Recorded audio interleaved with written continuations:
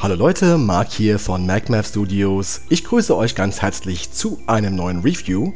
Heute teste ich einen RC-Car und zwar den Carrera Profi RC Red Bull NX2. Das ist ein Fahrzeug im Maßstab 1 zu 18 bis zu 50 km/h schnell alle Links und Infos dazu findet ihr natürlich in der Videobeschreibung. Ja, und vor einiger Zeit durfte ich bereits ein Fahrzeug im Maßstab 1 zu 18 von Carrera Profi RC testen, und zwar den Red Fiber. Der war ebenfalls sehr cool, den Test dazu findet ihr auf meinem Kanal. Und der Red Bull NX2 ist eben die neueste Version mit diesem Chassis, hat eine sehr gute Hobby-Crate-Ausstattung, sprich Öldruckstoßdämpfer, ist spritzwasser geschützt und wie gesagt bis zu 50 km/h schnell. Dazu ist er noch komplett proportional gesteuert, das bedeutet man kann Lenkung und Gas stufenlos regeln und einstellen und Carrera nimmt den Ready-to-Run-Gedanken sehr ernst und legt auch die Batterien für die Fernbedienung bei. Das ist schon mal sehr cool und jetzt würde ich sagen, packen wir das Ganze einfach mal weiter aus. Als erstes haben wir hier den Fahrakku, der hat 7,4 Volt und 1100 mAh.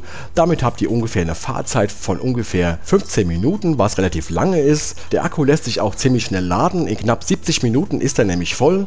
Hier haben wir die beiden Batterien für die Fernbedienung, mehr braucht man auch nicht, AA Mignon Größe und das hier ist ein Radkreuz, um die Räder an- und festzuschrauben, falls sie mal locker sind. Und natürlich auch das passende Ladegerät, da kommen wir gleich noch zu.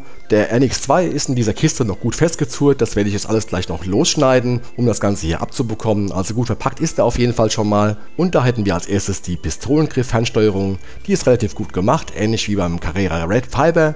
Der hatte leider nicht ganz so hohe Reichweite mit dieser Fernbedienung, das wurde mittlerweile geändert. Die Reichweite hier ist um einiges höher. Der NX2 sieht auf jeden Fall schon mal sehr cool aus aus. Das hier ist noch der Fahrakku. Wie gesagt, ihr habt hier mit ungefähr 15 Minuten Fahrzeit und auch die Ladezeit mit knapp 70 Minuten ist relativ schnell. Also das ist auf jeden Fall ein Vorteil. Das Ganze muss natürlich noch aufgeladen werden vor der ersten Probefahrt und das mache ich jetzt auch. Einfach anstecken. Am Ladegerät selbst ist ein LED. Das leuchtet rot, wenn der Akku geladen wird und wenn der Akku voll ist, leuchtet es grün. Und es gibt auch passende Ersatzakkus auf der Carrera RC Homepage. Das Ganze habe ich auch in der Videobeschreibung verlinkt, falls ihr euch einen passenden Ersatzakku bestellen wollt. Das Fahrzeug selbst kostet zum Zeitpunkt des Videos knapp 120 Euro und die passenden Ersatzakkus kosten ungefähr 16 Euro. Das ist alles noch im Rahmen, denn der NX2 kommt mit einer Hobby Crate Ausstattung, ist also richtig gut aufgebaut und er richtet sich mit seiner Geschwindigkeit auch nicht an die ganz kleinen, sondern ist von Carrera ab 14 Jahren empfohlen. Und hier haben wir auch schon den ganzen Packungsinhalt. Das hier ist die Anleitung, die ist multilingual und erklärt alles nochmal ganz genau.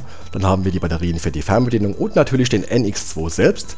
Der hat eine Kunststoffkarosserie, sieht also schon mal sehr cool aus. Öldruckstoßdämpfer, ein richtiger Lenkservo ist verbaut, da schauen wir gleich noch rein. Dann haben wir Niederquerschnittsreifen, Frontbumper und Heckbumper. Also vom Design her ist das richtig cool, ein bisschen futuristisch, gefällt mir also richtig gut. Die Stoßdämpferabstimmung und die Bodenfreiheit lässt vermuten, dass der NX2 eher für leichtes Gelände und für die Glattbahn geeignet ist, aber das werden wir alles noch austesten am Ende des Videos. Mit den Rennern im Maßstab 1 zu 18 habe ich sehr gute Erfahrungen gemacht. Ich habe auch schon einige Fahrzeuge in diesem Maßstab auf meinem Kanal getestet und der hier reiht sich hier wunderbar wunderbar ein. Hier nochmal die Unterseite. Hier sieht man die Schrauben sind flach eingesetzt, dass hier nichts hängen bleibt.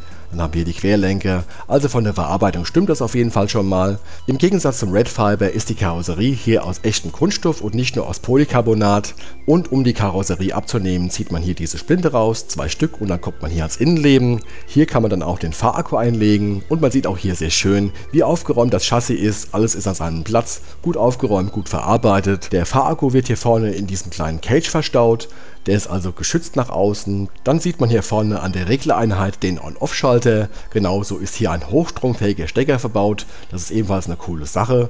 Hier an der Seite sieht man nochmal den Batteriecage, da muss man auch diesen Splint rausziehen, dann kann man hier den Akku einlegen. Finde ich schon mal eine sehr gute Idee, dass der geschützt ist. Das hier ist der On-Off-Schalter und dann gehen wir auf die andere Seite. Der NX2 hat Allradantrieb, das Ganze wird via Gestänge von hinten nach vorne übertragen. Genauso Einzelradaufhängung und Differentialgetriebe und dazu ist er auch noch teilweise kugelgelagert, also wirklich von der Ausstattung richtig cool. Hier vorne der Lenkservo, alle Teile lassen sich austauschen. Es gibt auch die ganzen Ersatzteile für dieses Fahrzeug bei Carrera nachzubestellen. Der Aufbau ist also komplett modular. Das finde ich immer sehr gut, wenn man da die Teile selbst austauschen kann. Ich habe es jetzt noch nichts kaputt bekommen an meinen 1 zu 18 Fahrzeugen. Wenn man da ein bisschen aufpasst, hat man da sehr lange dran. Kommen wir zur Fernbedienung. Die ist auf jeden Fall sehr cool vom Design her. Die lag ähnlich in dieser Form beim Carrera Red Fiber bei. Da war die Reichweite leider nicht ganz so hoch, nur ungefähr 20 bis 25 Meter. Das wurde hier auf jeden Fall verändert. Hier ist die Reichweite mit 50 Metern auf jeden Fall viel höher. Hier werde ich jetzt noch die beiliegenden Batterien einlegen. Dazu muss man hier an der Rückseite der Fernbedienung an diesem Hebel ziehen, dann kommt das Batteriefach ähnlich ein Pistolenmagazin hier unten heraus, dann die Batterien einlegen und das Ganze wieder wie ein Pistolenmagazin reindrücken, das Ganze rastet dann auch schön ein.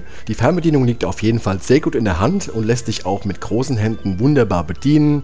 Das Lenkrad hier vorne ist ummantelt mit Moosgummi und wie bereits gesagt ist die Reichweite mit 50-60 Metern ganz ordentlich, auf jeden Fall für diese Größe von Fernbedienung. Hier wird das Ganze noch eingeschaltet, hat also auch schon gleich Funktion. Ein Pluspunkt gibt es auf jeden Fall dafür, dass die Batterien für die Fernbedienung schon beilagen und man sieht hier sehr schön, wie gut das in der Hand liegt, also da kommt man auf jeden Fall wunderbar mit klar. Und soweit ist alles vorgestellt und jetzt wird es auch endlich Zeit für die erste Probefahrt mit dem Red Bull NX2 von Carrera Profi. Um das Fahrzeug am Ein- und Ausschalter einzuschalten, müsst ihr leider immer die Karosserie abnehmen, da kommt man nicht von außen ran. Glücklicherweise geht das hier beim Red Bull ziemlich schnell, einfach die beiden Splinte raus. Ich habe auch noch den Akku nicht verbunden mit dem Fahrzeug, das werde ich jetzt ebenfalls noch machen. Hier sieht man auch, wie die Karosserie innen aufgebaut ist, ist also komplett aus Kunststoff. Dann werde ich hier jetzt noch den Akku anstecken und natürlich hier am Ein- und Ausschalter einschalten, um das Ganze fahrbereit zu machen. Und dann natürlich die Karosserie wieder draufsetzen, die beiden Splinte rein und dann kann es endlich losgehen mit dem NX2 mit der ersten Probefahrt. Lenkservo und Gas sind wie gesagt digital proportional gesteuert. Das heißt, drückt ihr am Gas nur ein bisschen, dann fährt er auch ziemlich langsam. Wenn ihr voll drückt, gebt ihr Vollgas. Das lässt sich also stufenlos regeln. Ich fahre jetzt einfach mal los. Meine erste Ausfahrt fand hier auf dem Hockeyfeld statt. Hier kann man mal richtig Gas geben und das Fahrzeug ausfahren. Und ihr seht, wie schnell der ist. Der gibt richtig Gas, zieht also wunderbar davon. Also die 50 km/h erreicht er locker. Dabei bleibt er wunderbar in der Spur. Also von der Kontrolle her ist das wunderbar. Ähnlich wie beim Red Fiber, das kenne ich also so in dieser Art schon. Ist also richtig gut abgestimmt vom Fahren her.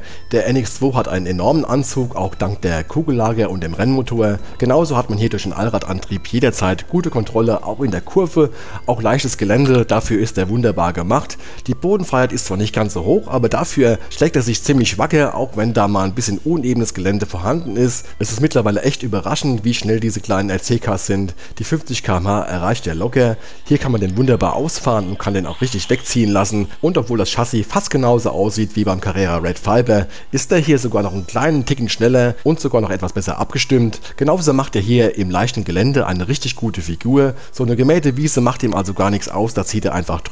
Und obwohl die Bodenfreiheit echt nicht ganz so hoch ist, performt er erstaunlich gut hier im Gelände, geht einfach drüber, als wenn das gar nichts wäre. Bei den Geländefahrten wird er auch nicht viel langsamer und lässt sich dabei auch noch wunderbar kontrollieren, wie eigentlich alle Fahrzeuge im Maßstab 1 zu 18, die so eher in den Hobbybereich gehen, ist auch der hier super stabil aufgebaut. Der Federweg der Stoßdämpfer ist leider nicht ganz so hoch, aber trotzdem machen dem hier solche Sprünge gar nichts aus. Die Verarbeitung ist auf jeden Fall wunderbar stabil und ihr seht hier auch die Geländefahrten, der kommt schon überall drüber. Der NX2 ist auf jeden Fall ein wunderbares RC-Fahrzeug für alle, die vom Spielzeugbereich mehr in den Hobbybereich gehen wollen. Die Ausstattung ist auf jeden Fall Hobbycrate mit Öldruckstoßdämpfern, mit der langen Fahrzeit von knapp 15 Minuten, Allradantrieb, Differentialgetriebe, Kugellagern. Dazu können das Ganze noch relativ schnell geladen werden in 60-70 Minuten und selbst wenn das Wetter mal nicht so gut ist, kann man mit dem hier draußen fahren gehen, denn er ist spritzwassergeschützt. Zumindest könnt ihr damit auf nassen Untergründen fahren. Ganz untertauchen würde ich den auf keinen Fall.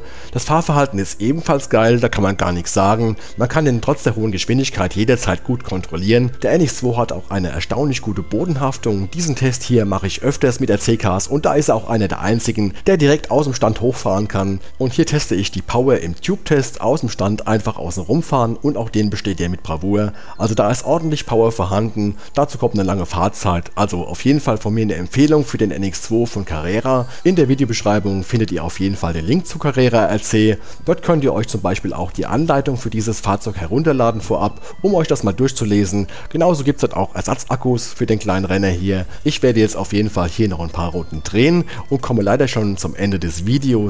Wenn ihr Fragen habt zum Carrera NX2, dann schreibt die in die Kommentare. Ich antworte euch sehr gerne. Ich würde mich auch sehr freuen, wenn ihr dem Video einen Daumen nach oben gebt, wenn ihr meinen Kanal abonniert, falls ihr das noch nicht getan habt. Bis zum nächsten Mal, euer Marc von MacMap Studios. Ciao!